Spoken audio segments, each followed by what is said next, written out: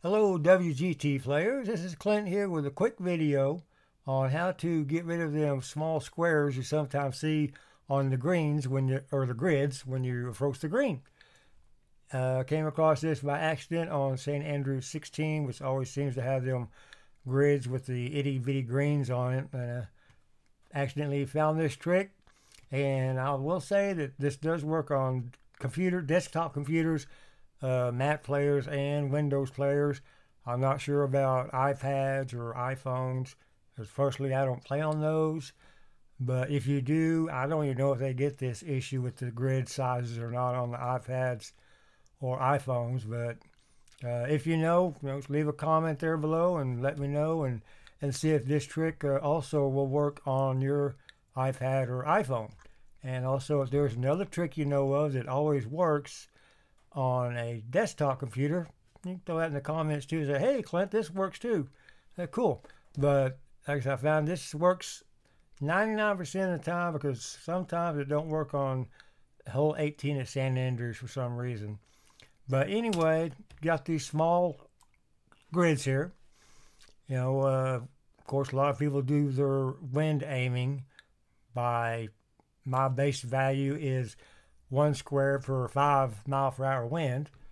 So, of course, say if I've got a you know five mile per hour side wind, one grid would be there. So that's not going to be one or one square. so all you do is there's the way I did it by accident is I went to move my marker, like I said, hole 16 St. Andrews, and instead of clicking it once to move it, I double clicked it and it knocked it off the green. So I moved it back and boom, there you go. You got the regular size uh, squares. Now I'll try it another way too. Is you just have to basically just double click to where it pops off the green and it'll turn into you know uh, regular size squares.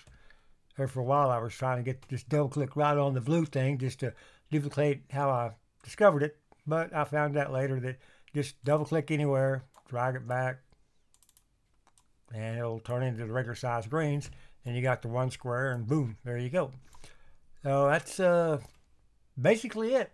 Um, like I said if there's other ways you found out that works 100% uh, drop it in the comment line. Or if this uh, doesn't work on iPhones or iPads uh, drop that in my comment line. Or if you don't even have this issue on iPhones or iPads because I don't know because I only play on my desktop here to drop in the comment and let me know about that all right.